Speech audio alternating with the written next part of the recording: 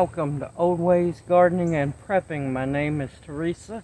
I'd like to welcome you to my backyard underneath the canopy on this beautiful day where we're going to make an old-fashioned recipe that used to be a favorite a long time ago and still is with me. Now, some people love it, some people like it, some people hate it. And I'm going to be making liver, beef liver, and onions. Now, the sad part is why it has fallen out of favor with a lot of people is because parents have allowed their children to make them short order cooks and cook only what they like. Well, sorry, that don't happen here. You eat what's put before you, is the way I was taught and I loved liver and onions as a child, and I still do to this day. So, we're going to do the prep work first and get ready to do the cooking. Now, the side dish for the liver and onions and gravy today is going to be steamed buttered broccoli. And I have that already cut up in the pan waiting to go. So let's turn the camera down here. I have, oh, probably about three cups of all-purpose flour right here. This is going to be not only the breading for the liver, but it's also going to be what I make the gravy with as well. Here I have a little over a tablespoon of garlic powder, a half a tablespoon of onion powder, about a teaspoon of salt, and about a half a teaspoon of good black pepper. You want to make sure that you mix everything up very well. And since this is an old-fashioned recipe, we're going to be using a fork.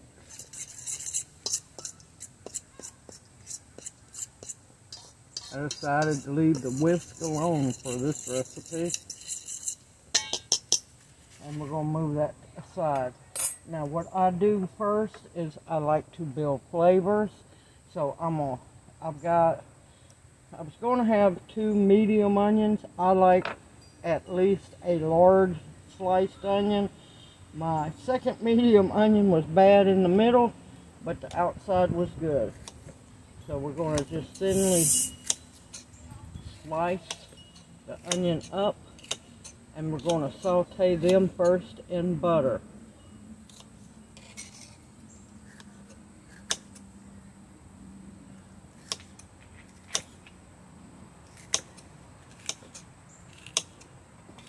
I absolutely love liver and onions. My favorite is chicken livers. I love turkey livers. I'm not real big on pork liver, but I will eat it.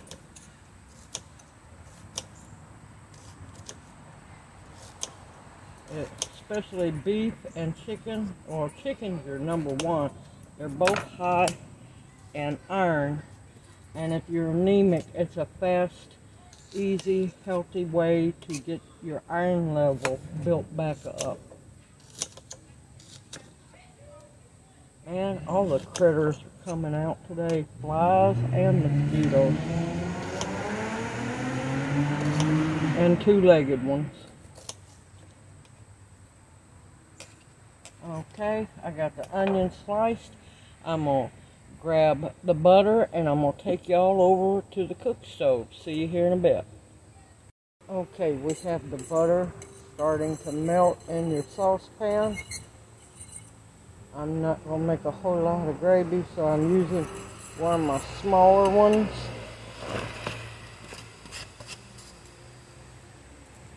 I'll break your onions up because you want them to be individual in the gravy.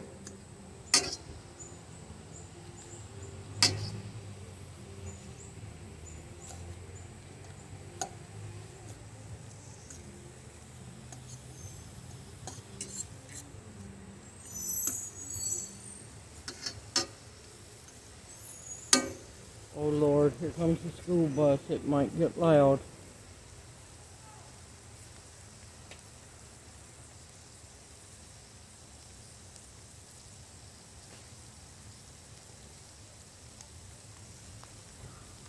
I want to season my onions with a little pepper.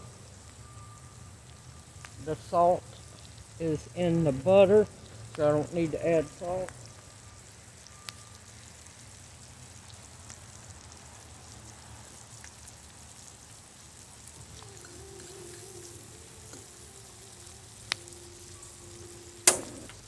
Go and get my broccoli started.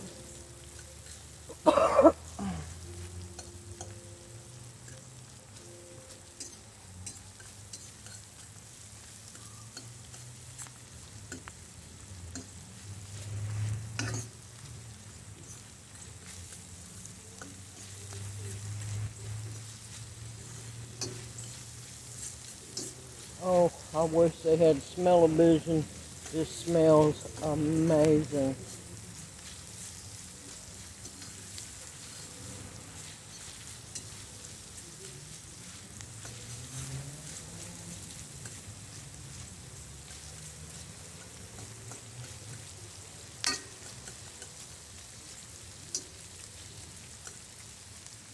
Nothing like cooking outside too.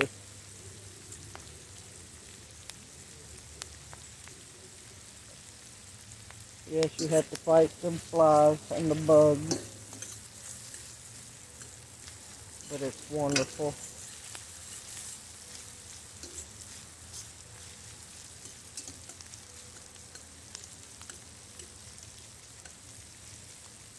I'm going to let these continue to cook down and I will bring you back when they get close to being done.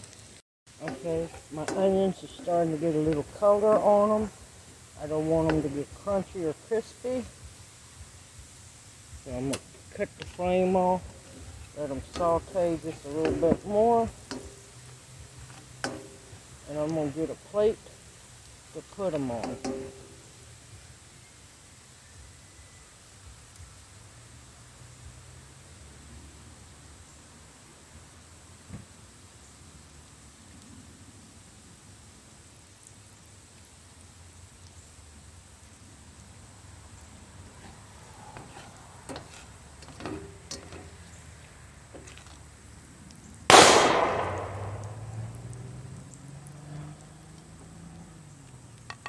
No lives matter. No lives matter.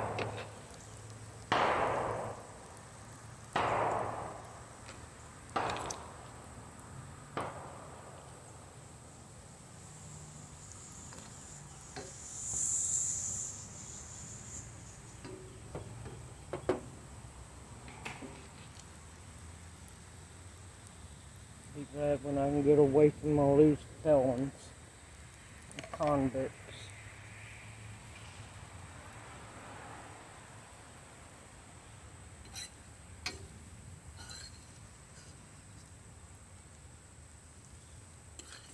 You want to try to keep as much of your butter in the skillet as possible.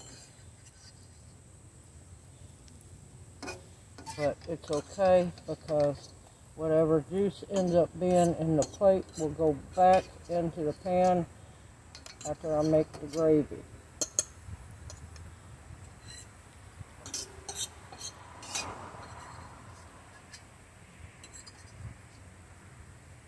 Okay, I'm going to pause it, get the liver washed, and bring you right back. Here is the beautiful pack of beef liver that I got yesterday, and all day for yesterday, for less than $4. Is that not beautiful?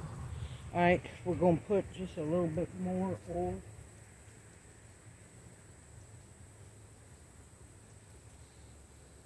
And like I said, I'm building flavor and also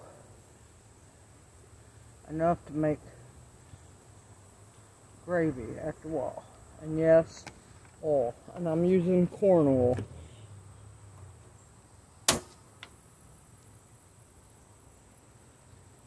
You want your flame about medium. And I forgot to mention the butter for the onions was about a half a stick of sliced butter.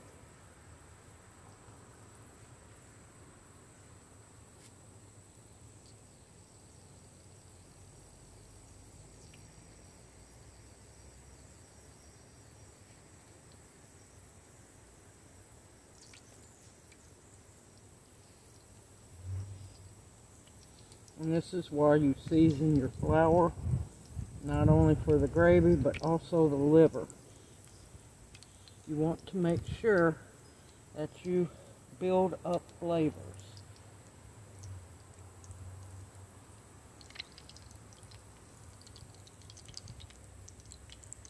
And we'll make sure your liver is real good and coated.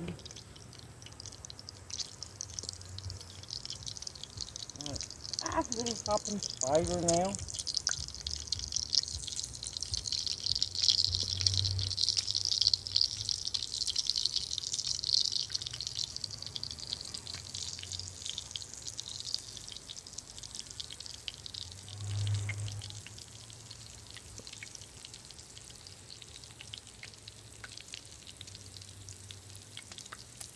broccoli is steaming away beautifully.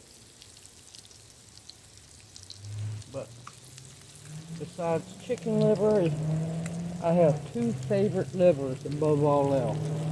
Deer liver and chicken liver. Those are my two favorites.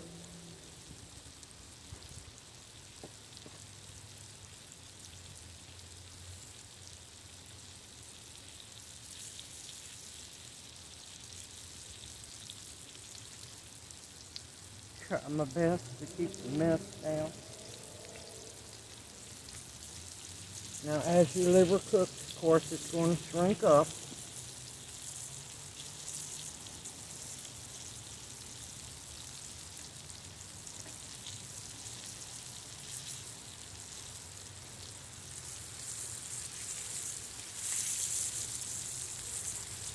I'm going to give it time to get a pretty, pretty brown on the other on the other side.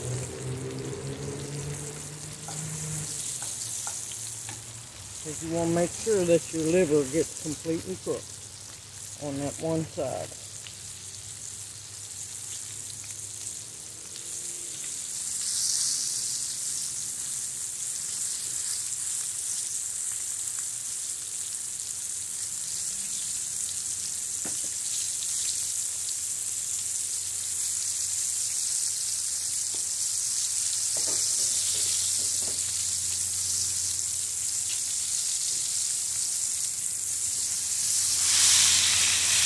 That beautiful crust? That's what you're looking for.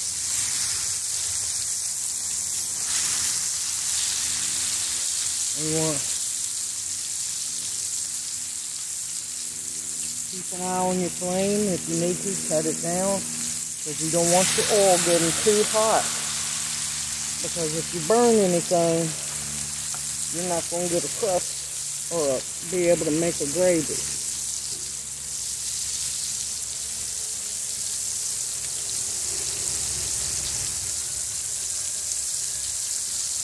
I'm going to pause it and I'll bring you back as soon as it's done. Okay, I have flipped it on both sides. It is done. I'm going to remove it. You want to make sure that they're fully cooked. And any pieces of breading comes off, make sure you get that out of your pan because it will burn. Now, I'll bring you back once I'm done, finished frying the second batch. Okay, this batch is done. You don't want to cook it until it's dry. You want to cook it till it's done. And I also forgot to say on a medium low or low. You don't want to cook it real fast. To cook it nice and slow.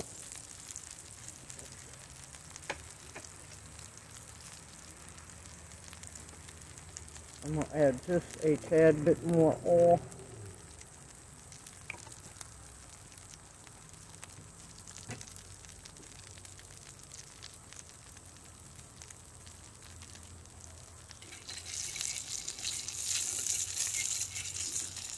Now comes the fun part making the roof.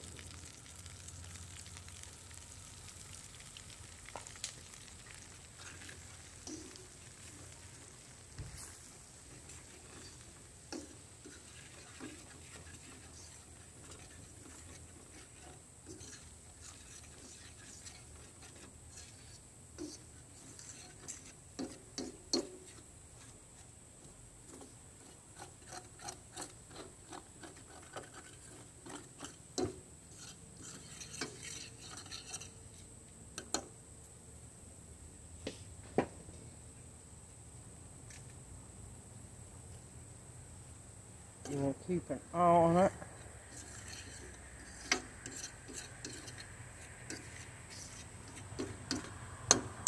Any little burnt parts, which is breading, you just chunk out. Another good part about cooking outside. This time I was asked by Junior to use milk for the gravy. I usually use water. Now, as I, when I was a child, this, and don't worry, you'll work them lumps out. As a child, this was always served with cream potatoes.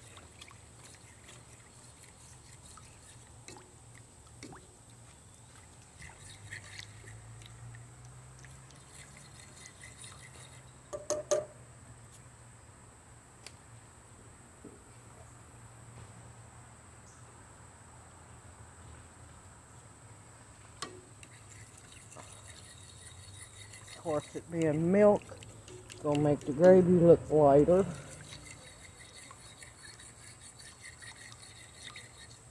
And the milk being cold, it's gonna take a little longer for the gravy to come together.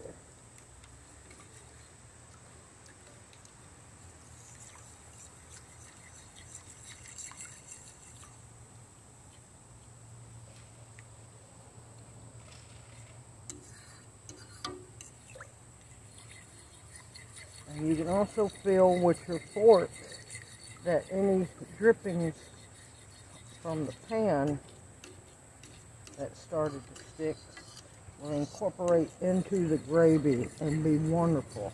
All your layers of flavor come together.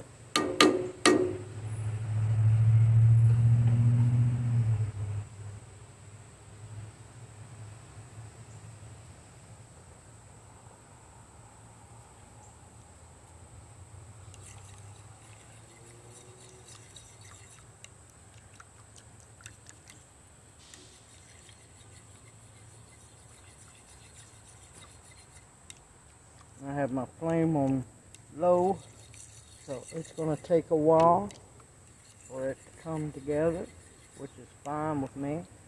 Gives you time to work those lumps.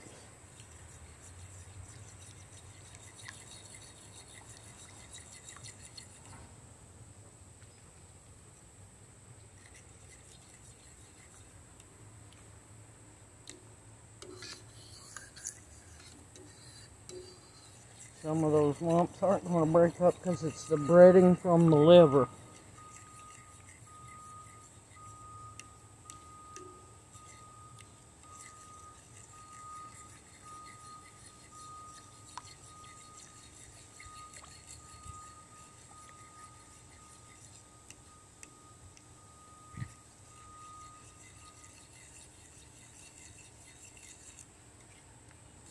Starting to thicken up nicely and I wish y'all could smell it.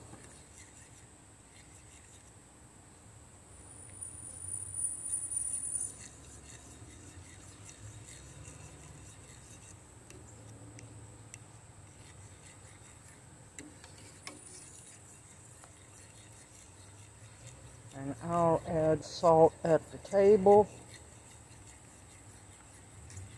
to my plate. Ah, it's thickening up now.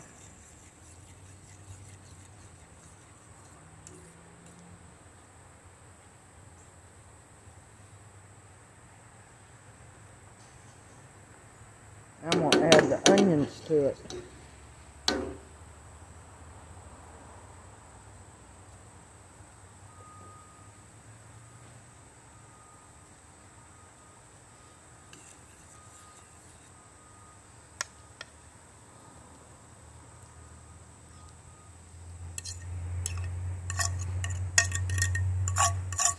Want make sure you get all of that flavor into that pan.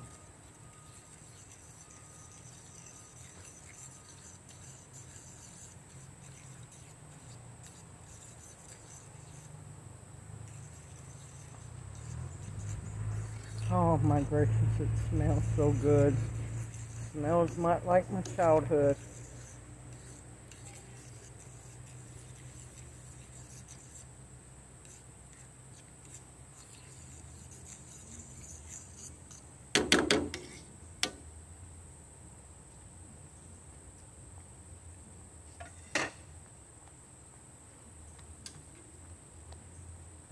And the steamed broccoli is done. You want to get that liver in there. Get it covered. And that gravy.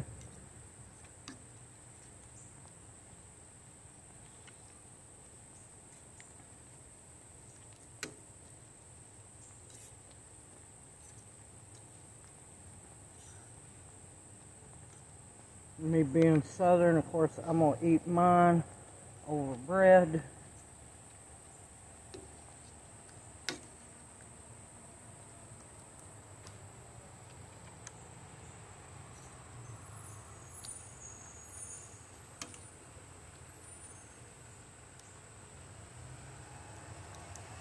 You gotta be careful too, your breading will come off if you're not careful.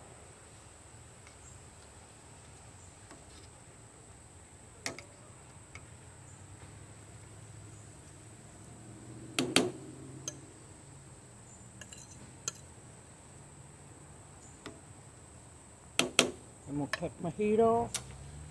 Let me get my lid. Let that sit for a little bit and then I'll bring you back when it's time to eat. See you here in a bit.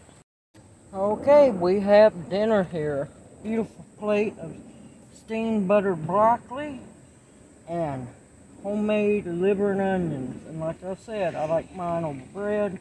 It's a southern thing.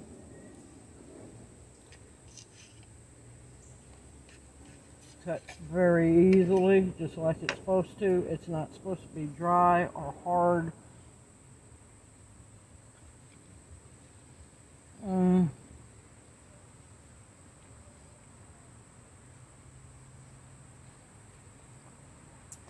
Tastes absolutely amazing.